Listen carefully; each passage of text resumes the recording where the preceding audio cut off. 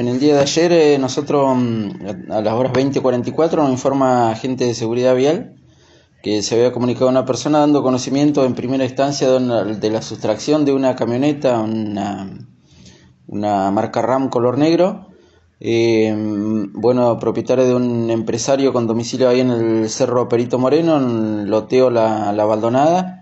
Bueno, en primera instancia se, se, dio conocimiento de la extracción de este vehículo, pero después, eh, posteriormente, tomamos conocimiento por parte de la pareja de la víctima de que, bueno, había sido tratado de un robo con arma de fuego, donde, constituido personal en el lugar, se pudo eh, establecer que en las horas mencionadas, minutos antes de las 20.40, eh, se acercan en el domicilio alrededor de cinco personas. Eh, bueno, cuatro de ellas con arma de fuego, según lo que refiere el damnificado, los cuales eh, irrumpen en el domicilio y bueno, sustraen el vehículo aludido, y como así también dinero en efectivo y eh, joyas y relojes varios de propiedad del, de la víctima y también entre las cosas se llevaron un, arma de fuego. ¿Las personas estas, los delincuentes, estaban a cara descubierta? Eh, conforme a lo que brindó información el damnificado, estaban todos encapuchados y eh, no, no pudo ver el rostro en ningún momento.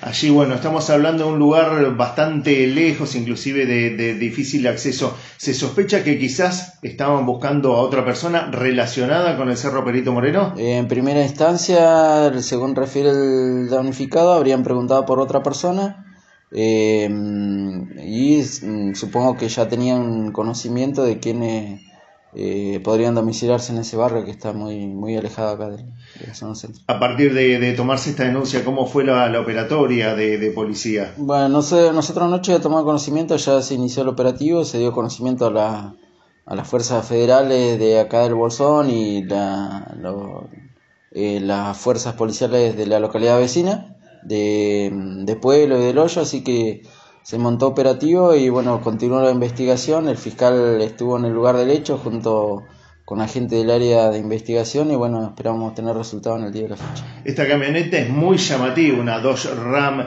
se, se ha estado monitoreando las imágenes de las cámaras de, de, de 911 como para tratar de identificar el recorrido que pudo haber tomado? Sí, nosotros estamos este, trabajando ahí juntamente con la gente del área y bueno, eh, por ahí este, son eh, indicios que por ahí nosotros manejamos con el fiscal, a los fines de no entorpecer la, investigación en la causa. ¿Las personas damnificadas sufrieron algún tipo de, lesión, de golpes? El dueño de la vivienda tenía una, un golpe en la zona del cráneo, pero este, eh, lesión de carácter leve, el mismo se lo, eh, no quiso, no requirió asistencia médica.